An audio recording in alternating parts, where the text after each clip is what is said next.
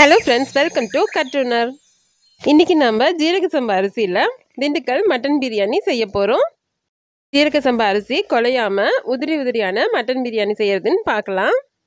இந்த மசாலா ரெடி பண்ணிவிட்டு நீங்கள் பிரியாணி செஞ்சிங்கன்னா தான் ரொம்ப டேஸ்ட்டாக இருக்கும். பட்டை கிராம்பு ஏலக்காய் கொஞ்சம் சோம்பு பிரியாணி இலை கொஞ்சம் ரோஜா பூ இதழ் எடுத்துக்கோங்க. இதை எல்லாத்தையும் ரெண்டு பாட்டாக பிரித்து எடுத்துக்கோங்க. இஞ்சி பூண்டு சமமாக எடுத்துக்கோங்க. கைப்பிடி அளவு சின்ன வெங்காயம் நாலு பச்சை மிளகாவையும் எடுத்து வச்சுக்கோங்க. அடுப்பில் வெறும் கடாய் மட்டும் வச்சுட்டு எண்ணெய் எதுவும் சேர்க்காம இது எல்லாத்தையும் வறுத்து எடுத்துக்கோங்க.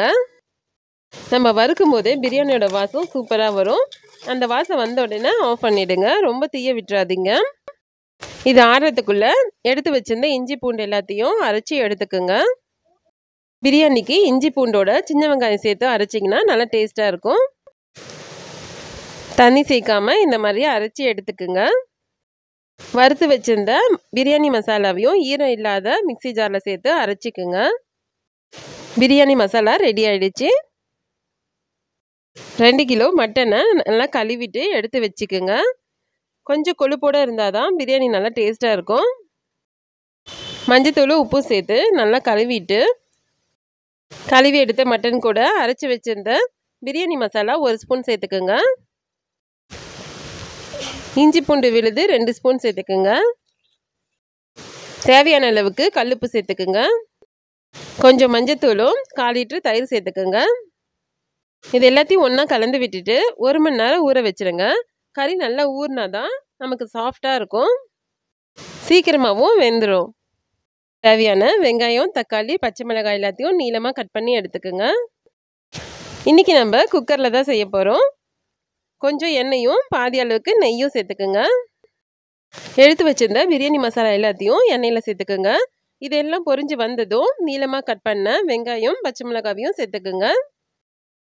நம்ம சேர்த்த வெங்காயமும் பச்சை மிளகாவும் கோல்டு கலரில் வர வரைக்கும் வதக்கி விட்டுருங்க.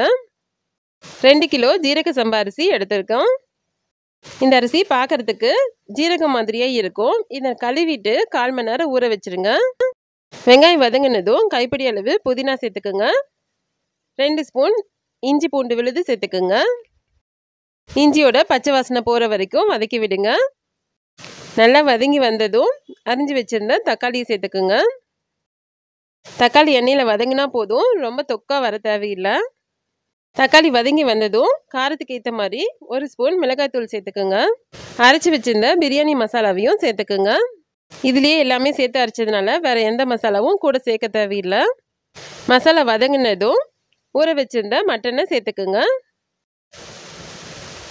மட்டனை அந்த தண்ணியோடையே சேர்த்துக்குங்க. கொஞ்ச நேரம் எண்ணெயில் வதக்கி விடுங்க. மட்டன் நல்லா வதங்கி எண்ணெய் தெரிஞ்சு வரட்டும். கூடவே மீன் வறுவலும் ரெடி ஆகிட்டுருக்கு பாறை மீன் வறுவலுக்கு ரொம்ப டேஸ்ட்டாக இருக்கும். இந்த மாதிரி கருவேப்பிலையோடு சேர்த்து செஞ்சிங்கன்னா ரொம்ப டேஸ்ட்டாக மனமாக இருக்கும். மட்டன் வதங்கினதும் ரெண்டு கப் அளவுக்கு தண்ணி சேர்த்துக்குங்க. ஜீரக சம்பா அரிசிக்கு ஒரு கப்புக்கு ஒன்றரை கப் அளவுக்கு தண்ணி சேர்த்தா சரியாக இருக்கும். அதில் பாதி அளவு மட்டன் வேகத்துக்கு சேர்த்துக்குங்க. குக்கர் மூடி போட்டு மூணு விசில் வச்சு எடுத்துக்கோங்க. இப்போ பாருங்கள் மட்டன் நல்லா வெந்து எண்ணெயெலாம் தெளிஞ்சு வந்திருக்கு. மட்டன் வெந்திருக்கான்னு செக் பண்ணிக்கோங்க. ஒவ்வொரு மட்டன் வந்து சரியாக வேகாது மூணு விசிலில். அப்போ நீங்கள் கொஞ்ச நேரம் வேக விடுங்க. இது கொதிக்க ஆரம்பித்ததும் மீதி இருக்க தண்ணியை சேர்த்துக்கோங்க. பிரியாணிக்கு தேவையான அளவுக்கு. மட்டன் கிரேவி கொதிக்க ஆரம்பித்ததும் கழுவி வச்சுருந்த ஜீரக சம்பா அரிசியை சேர்த்துக்கோங்க. தண்ணி இல்லாமல் அரிசியை வடிகட்டி எடுத்துட்டு அப்புறமா சேர்த்துக்கோங்க.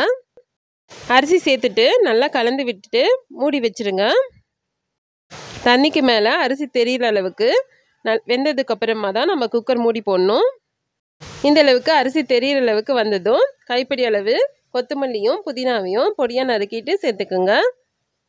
பாதி எலுமிச்சம்பழ ஜூஸ் ரெண்டு ஸ்பூன் நெய் சேர்த்துக்குங்க. குக்கர் மூடி போட்டுட்டு விசில் வைக்காமல் அடுப்பை சிம்மில் வச்சுட்டு பதினஞ்சு நிமிஷம் விட்டுருங்க. பதினஞ்சு நிமிஷத்துக்கு அப்புறமா அடுப்பை ஆஃப் பண்ணிவிட்டு அரை மணி நேரம் அப்படியே எடுக்காமல் விட்டுருங்க. அப்போ தான் நல்லாயிருக்கும். அரை மணி நேரத்துக்கு அப்புறம் வேறு பாத்திரத்துக்கு மாற்றிக்குங்க குக்கர்லேயே வச்சுருந்தீங்கன்னா கட்டி ஆகிடும் பாருங்கள் சூப்பரான திண்டுக்கல் ஜீரக சம்பா மட்டன் பிரியாணி ரெடி ஆகிடுச்சு மட்டன் சாஃப்டாக குக் ஆகிருக்கு இந்த மாதிரி நீங்கள் செஞ்சீங்கன்னா அரிசியும் குலையாமல் வரும். நீங்களும் இந்த மாதிரி செஞ்சு பாருங்கள் இந்த ரெசிபி உங்களுக்கு பிடிச்சிருந்ததுன்னா லைக் பண்ணுங்கள் ஷேர் பண்ணுங்கள் கட்டுனர் சேனலை சப்ஸ்கிரைப் பண்ணுங்கள் தேங்க்யூ